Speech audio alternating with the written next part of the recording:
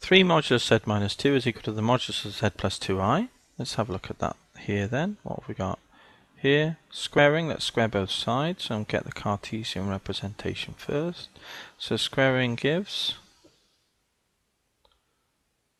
so the square of this side will be 9.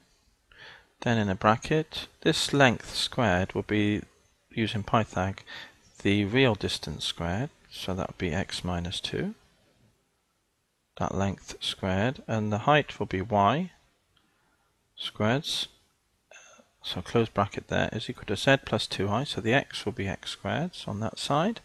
When you square the real side and when you square the imaginary side you get y plus 2 don't you? Squared. So we get that. So let's expand this bracket then. So all at the same time and times it by 9 so it's 9 lots of x squared get an x squared here times the 9. Minus 4x is the middle term, times 9 is minus 36x. Then plus a 4 times the 9 is plus 36. Plus 9 lots of y squareds is equal to x squared plus we've got a y squared plus a 4y is the middle term, two middle terms added, and then we've got a plus 4 so what have we got there? Move the x squared over, we get 8x squareds. Move the y squared over to be with the other y squareds, we'll get 8y squareds. Now the x's, minus 36x, there's no x here, so it's just minus 36x. Move the y across, it's minus 4y. And then the numbers, 36 there, and a 4 there, so that's equal to then, uh, move that over here, 4 minus 36 is minus 32. Divide by 8 all the way through, so we get x squared. And I'm going to pull that here, so it's minus, divide by 8. Um, 36 over 8 is 8, divide by 4 is 9 over 2, top and bottom. 36 over 8 Divide by 36 by 4 is 9. Divide 8 by 4 is 2.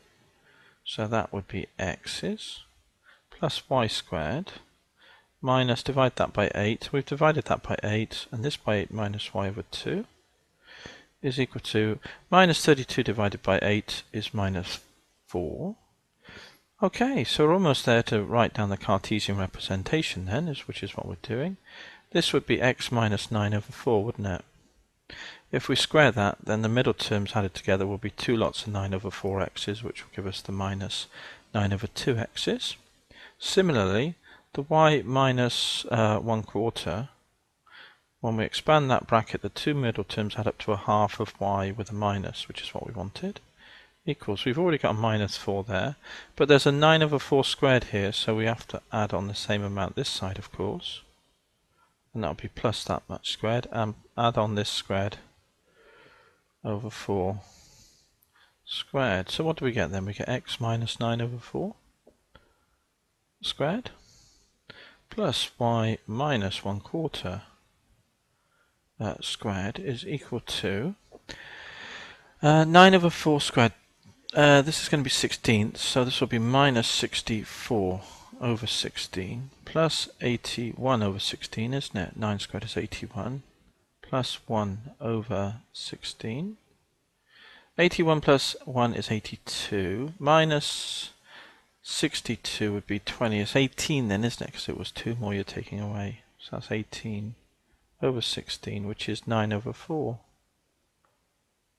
So I just squeeze that in there. 9 over 4. Here we've got a circle. A uh, circle, center, uh, 9 over 4 and 1 quarter, and radius, well this was 9 over 4, was uh, 9 over 8.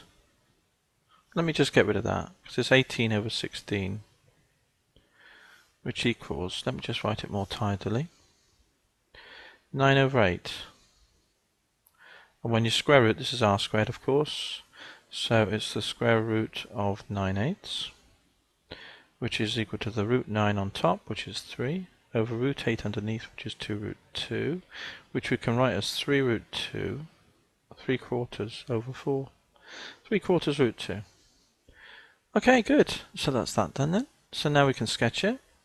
So we know our loci here. We've got the circle of that center and radius. So let's just um, put in our graph.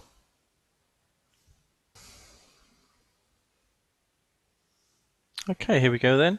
So circle center 9 over 4. So that's 2, two and a quarter, isn't it? So 2 and a quarter we could see on the x-axis, we'll say here. And the y-axis is a quarter, so we've got to be a bit careful here. So I'll try and draw the center here. And then the radius is 3 quarters root 2. So 3 quarters, the circle will lie inside here, but it will go over the bottom. It will come under the bottom. It's bigger, the radius is big enough to do that because it's bigger than a quarter. Uh, but it's not bigger than 2.25 because it's only 3 quarters root 2. So we can draw a little circle then around this point here. And this is our um, loci. Um, center uh, was 9 over 4 and 1 quarter. And radius uh, 3 quarters root 2 and it was a circle, wasn't it? And we had the equation just above. We derived in Cartesian form here.